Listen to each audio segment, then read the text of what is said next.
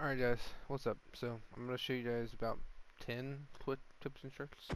I didn't really count, I'm just going to guess this 10. I mean, I might be wrong, but it doesn't matter. You know what? You came here to see some tips and tricks. I'm going to show you some tips and tricks. First one. Easiest way to fill a like pool like this. I think it's just like 9 by 9. So I found, I used to do the trick where you would place it all on the wall and place it all on our wall, which would in turn fill it, which is sort of fast, it's helpful, but yeah. First you want to get one or two buckets, however many buckets you want actually, it doesn't really matter, just have the buckets of water. And you want to make sure you make an infinite water source or be near like an ocean or just an easy way to get water. Then you want to go diagonally. You're going to go all the way across we're gonna have to run all of it in here. Just cut in the middle. You're gonna keep going all the way across. All the way. One last one should do it. Once you do that, the entire pool will fill up. As you can see, now the entire pool is an infinite water source, of course, but that's all you need to do, is you just go diagonally any way. I find it easier to put a different block in the diagonal areas if you're going to do this. Because you know, there's no outline. Like you see how there's black outline around this stone block right there? There's no outline when you're looking down into the water. So, that's, yep, that's the easiest way. Then over here, I just want to show you the same sort of thing. Except, I'm just showing you that it has to be a one block level. You cannot do it if it's more taller, like if it's like this, for example. See how this is two blocks tall? You cannot do it like that. It has to be one layer. That's that.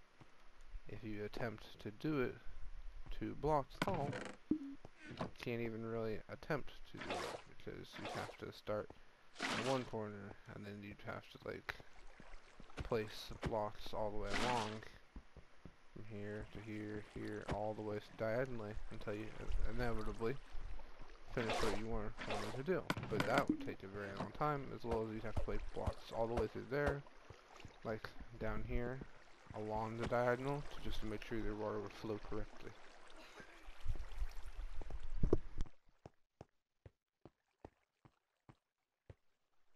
Alright, the next trick is shields and explosions, explosion radius, stuff like that. So you put a shield in your up, whoop, up in the slot. You know, you crouch. I'm on PlayStation, by the way. You crouch. It blocks. Shields can block explosive damage. See? I broke the. But whatever, it doesn't matter. But yeah, there you go a little tip. They're all tips, whatever. no matter, I don't know for sure how much TNT would take to break a shield. It'd, it'd probably be like 20, 25 around there. But yeah, into the next one. One blaze rod can smelt up to 12, like, or 12 blocks, whatever pieces, like 12 food, anything that sort of way. It can smelt up to 12 so what you want to do is yep, just exactly this. It tells you exactly what to do. Fuel, ingredient. So just kill blaze in the nether. You have to you have to go to the nether. It's a sad thing. But once you get to the nether, you find one blaze. Maybe you maybe get more if you want. Then you kill it. Get the blaze rod. Take it back. And whatever you want to smell. You can smell 12 of exactly.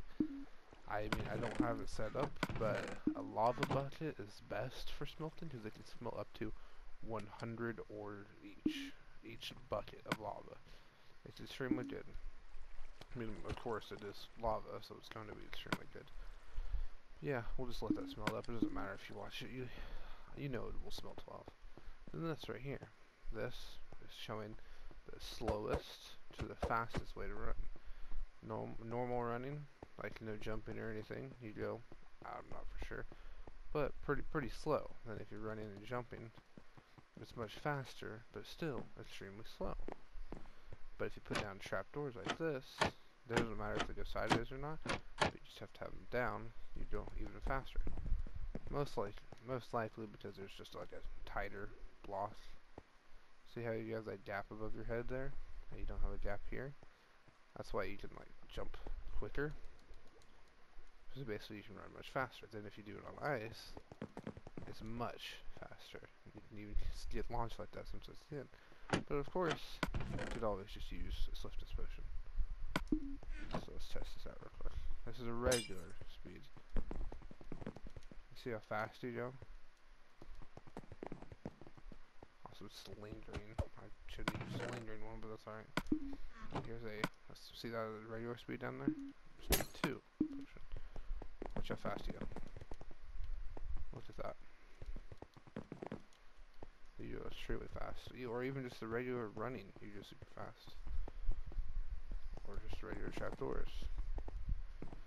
Either way, when using a speed potion or a speed 2 potion, or using trapdoors and ice, which is the same, it's just regular trapdoors, but ice is much faster for some reason. Not really sure how it works, but I guess you just can like run faster on it. Cause I don't know, for sure. I'm not particularly sure about how that works. I mean, you can always test it. The bad thing about this is ice because wherever you want to build, so like say you want to build a tunnel to get like to that village over there, and you start like down there, so it's a straight line. It's it's problematic because you have to have so much ice. Trapdoors are easy to get. They're I think four wood, six wood. Yeah, six wood. And all you gotta do is just place like that, and you it comes with like three, I think, every time. I'm not sure. I haven't played this in a while. But then you just put it through. That's really fast. Alright. Let's move on to the next trick. This is to do with fishing. Regular fishing, you know.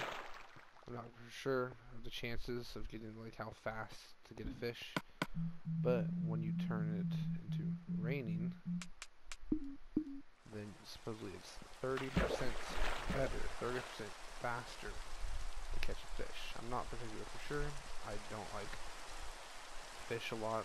Because it's easier just to run around and mine. Don't really have to worry about fishing. But if you need food, wait till it rains. It's the best time.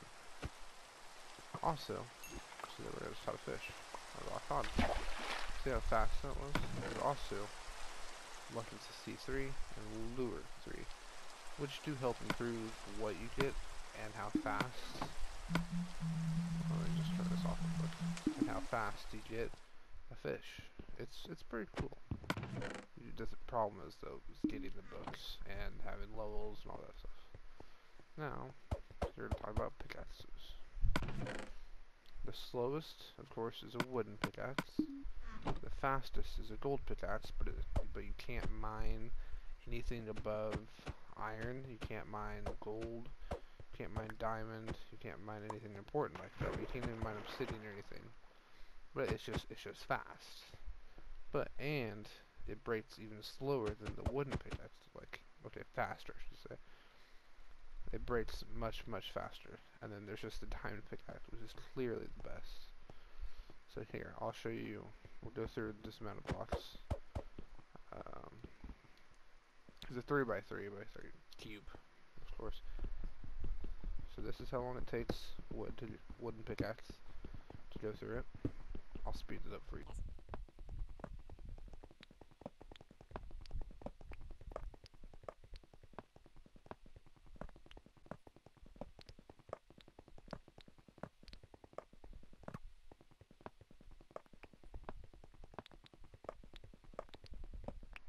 go. As you can see, took me down to about half the pickaxe durability down there for about 27 blocks of cobblestone.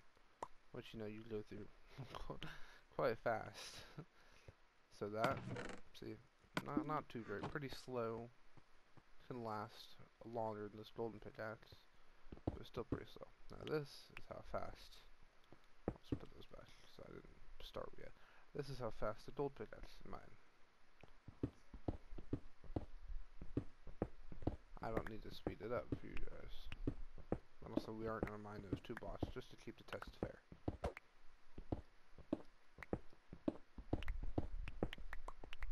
As you can see, after 27 blocks, counting those two, it was about to break. Like, it's about 30 blocks for that gold pickaxe to get destroyed. Then there's the diamond pickaxe, which can mine about the same speed as gold, a little bit slower, not much, but about the same speed. And its durability is extremely better. See? I got all 27 blocks, and these last just 29 blocks, and the durability is not even like a millimeter down. So, really, the wooden pickaxe is a million times better than the gold pickaxe. And the diamond pickaxe is a billion times better than both of them. So always go for diamond rather than wood or gold. Of course, when, when you're starting, you have to go with wood, sadly. Uh, we'll move over here. This little trick.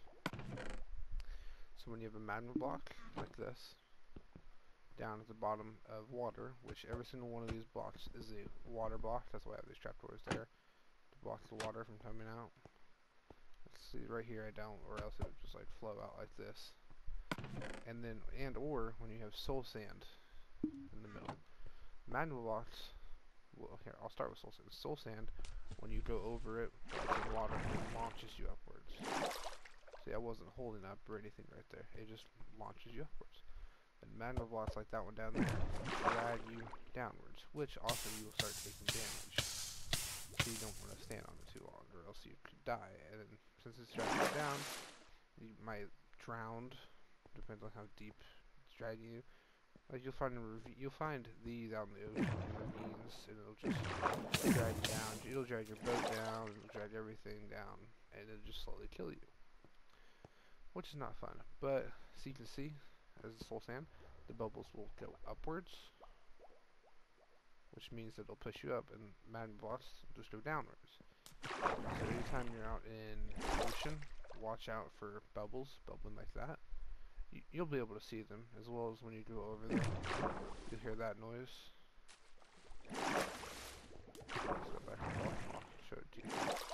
You'll hear this noise, which means that you now went, entered like a magma blocks area, which in turn means that you want to get out of there as fast as possible. Now the soul sand here, you'll hear this noise quite a weird noise compared to the magma blocks. Which you can get out of, by the way, if you hold up, just long enough. You can get out of it. It's very, very slow compared to the regular. Unless you're up top like that and you're already out of water. And this one, this fish was walking on water this one. Push the hold, jump, upwards. That's pretty my next one slime blocks. They can block all damage from fall no matter how high up you are. Say you're a million blocks in the sky, you can't go that high, but say you're a million blocks in the sky, and there's a slime block down below you. You land on it, you'll survive. You'll be perfectly fine. Also, it's kind of like a trampoline, you just bounce on it. It's pretty, it's pretty cool.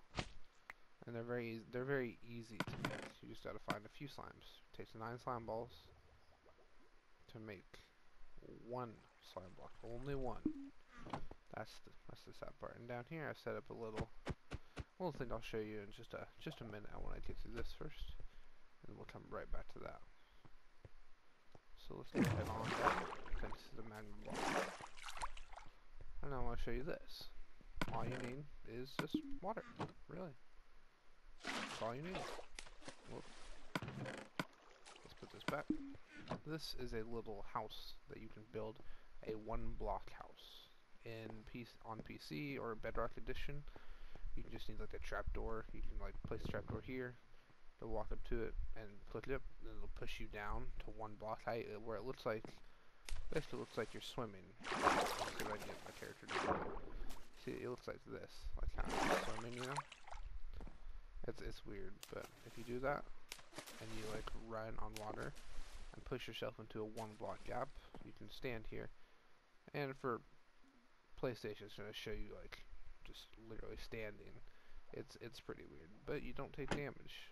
See, I'm in a wood block right now, and I'm gonna take damage. But so I built a little house for you. It's got every necessity you could need. It's got a composter, an enchantment table, everything. Got your chest, which you can still open, your brewing stands, which you can use, your crafting table, ender chest, furnace, your stone cutters, your grindstones. Bad thing is you can't stand on top of the chest or else it won't work. And you can walk over all of this. Everything here you can walk around, walk through, walk over, and you'll be fine. Except for this right here. If you fall into that, you're stuck, and you can't get back out of it unless you break the ceiling and climb out or whatnot. And you can't really sleep in here, or else it'll just make you stand up regularly, and you'll just be glitched through the ceiling, which, which sucks. But I put this little trap door here as like a mini door, because you can't actually have like a the door in the way, or else it'll stand, make you stand up as well. It's pretty cool. I do this in most of my survival worlds, honestly. It's it's really compact and really nice. Let's move on to the final thing I want to show you. The little slime block test. So I've got slime blocks all the way. That's like I think an 120 block drop. It's quite a distance. So, you know, you, you normally would you take damage you die from this. Just the distance you're at. But you got slime blocks, like I said, I've got nine down here. Watch this. Just bounce. Look at that. Just bouncing up and down.